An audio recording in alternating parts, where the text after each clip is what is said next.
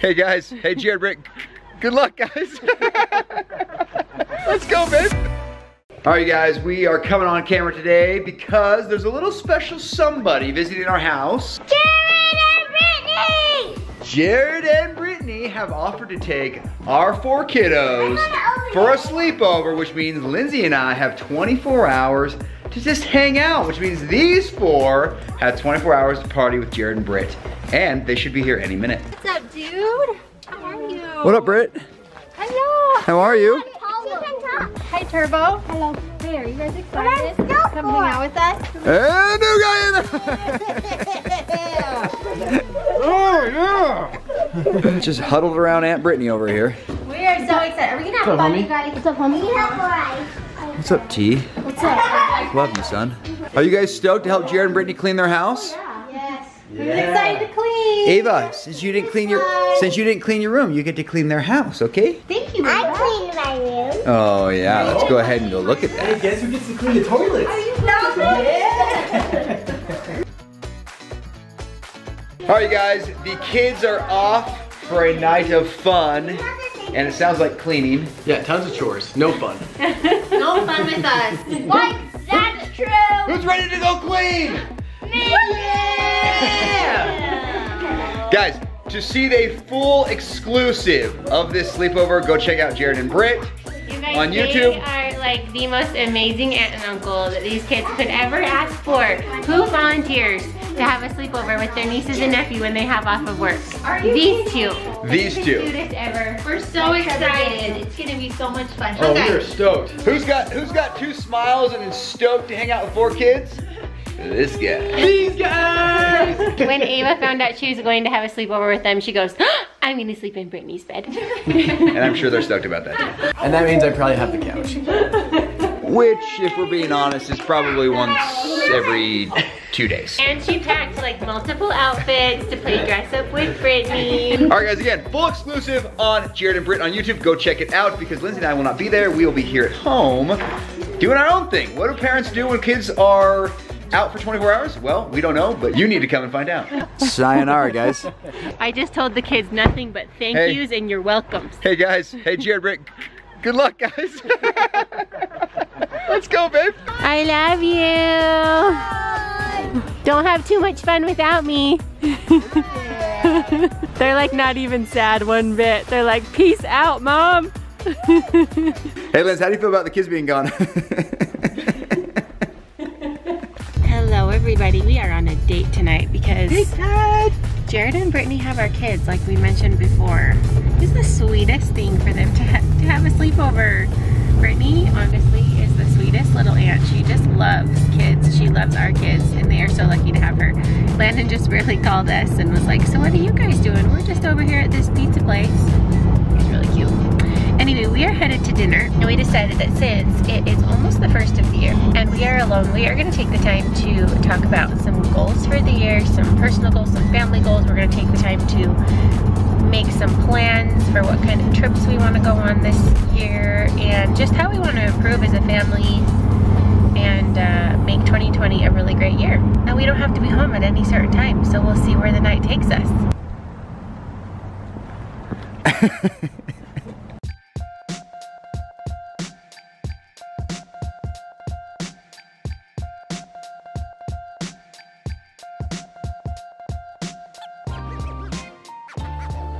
We have every day of, of next year planned out from 8 a.m. to 10 p.m. No, we actually we set some good family goals, which we're happy to share some of them with you. You know, tried to plan out some of the trips we want to do for 2020, most of which will be, you know, boating, things like that. But, you know, this year we will do some sort of, you know, family vacation like we do every year. We try to gear our family goals around championing each other. You know, I think as siblings, sometimes you can be your greatest friends and your greatest enemies at the same time. And so we just want to encourage our kids to champion each other and to be a good friend to each other, have each other's backs, and, uh, you know, be positive to each other. So You know, I would love if our kids grew up and they just were the best of friends. I can say that in my family growing up, that really even as an adult now you know some of my, my closest friends are honestly my, my brothers and my sister and so i would really love that our kids just uh, i mean you guys see in the vlogs they're very sweet to each other And I think when it comes down to it, they really are there for each other. They you are. know? In fact, it's funny because I was talking to Landon's teacher one time about how Turin sometimes gets frustrated in the morning, how his brothers will make him late to school. And the teacher said to me, I want you to know in the hallways, Turin's always worried about Landon and Ashton and checking on them and seeing if they're okay. And it just warmed my heart because I think sometimes we don't always, you know, see behind the scenes that kind of stuff at school. So So I would just say more than anything, we just want them to continue to be champions as they get older. Because as they get older, new interests happen, friends become more of a hot topic, which is totally fine. But at the end of the day, we want them to feel like their closest relationships are definitely in the house. Okay, and Lindsay, but, but let's be real here because at home they definitely have their moments, like Oh, all totally. brothers and sisters Yeah. do, you know. And and I just think as parents we're just hoping to so the have family happiness at home. so the phrase Lindsay is using is water what you want to grow. So basically, it's the idea that um, you know, as parents, we're going to water what we want to grow in our kids, and so we just are going to try to champion and make a huge deal out of the things that we want to grow, the things that we want to emphasize. So when they're you know really being kind to each other, or they you know are really really giving or selfless or do something really awesome and then if they're doing something that's kind of frustrating to not put a lot of emphasis on that i think it's easy as a parent to lose your patience and get frustrated over the bad things but hopefully to focus a little more on watering what we want to grow Well, guys, we tried to do something super fun tonight. First of all, Lindsay's crazy tired, so she's probably super stoked this didn't work out. but we went to go try to race really, really fast go-karts, at a new place called the grid and they're all booked out. christmas break for you though because everybody is doing fun things I know, but now we don't know what we're gonna do. We have no kids for 24 hours. What are we gonna do? and hashtag mom life all i want to do is do nothing so guys, we decided to do the next best thing because all of the cool activities are closed. Froyo. We're gonna get ourselves a little froyo and head home.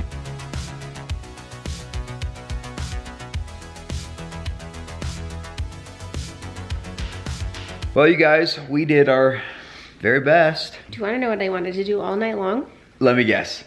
Stay home. I kind of did. It's freezing outside. We still have the Christmas tree up, and it's so quiet. That's very unique. You know, though, sometimes doing nothing is just better than doing something, which nothing is something. That's very wise.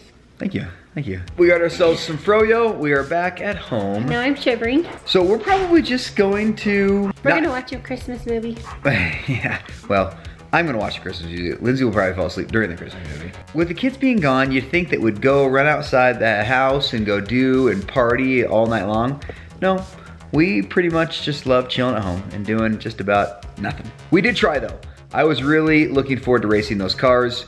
Unfortunately, they could not take us. They were booked solid. So one thing I will tell you about Justin and I is that we are a little bit fly by the seat of our pants kind of people. We're pretty spontaneous. So a lot of times we don't put a ton of planning into our trip. So we're trying to be better about that this year and really kind of think ahead on when our kids are off of school and uh, hopefully plan a, a big family vacation this year. We always do little things. We, we travel for Turin's soccer team to, uh, you know, some nearby cities like Las Vegas or St. George and we spend our entire summer boating. We always do a friend trip to Bear Lake in July. We always go to Lake Powell as a family Seems like we do Disneyland every now and then.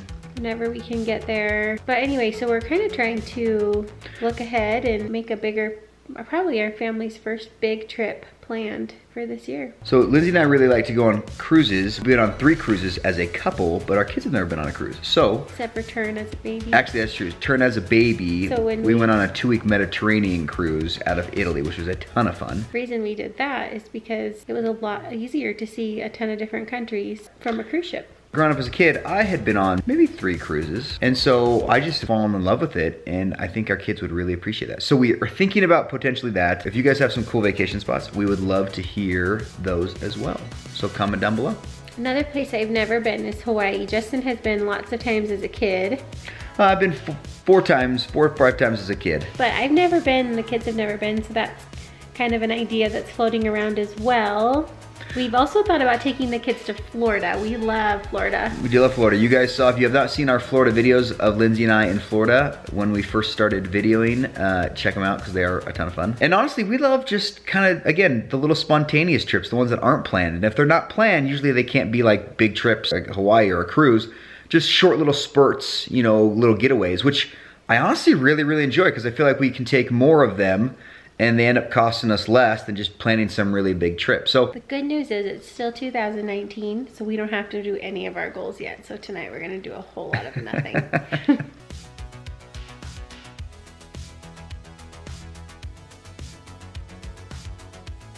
As predicted, guys, she fell asleep during the movie. All right, guys, well, as you saw, Lindsay is sound asleep, which is honestly totally cool because, you know, she works tirelessly to take care of those kiddos, and I'm glad that she just gets to rest peacefully, doesn't have to put any kids to bed, she doesn't have to get up early, there's no school in the morning, the kids are gone, so I am super stoked that she fell asleep. Anyway, guys, well, thanks for joining us on our date, uh, our stay date almost, you can call it. I guess it's good night. We'll see you in the morning. Hang on, hey. hey, Liz, how do you feel about the kids being gone?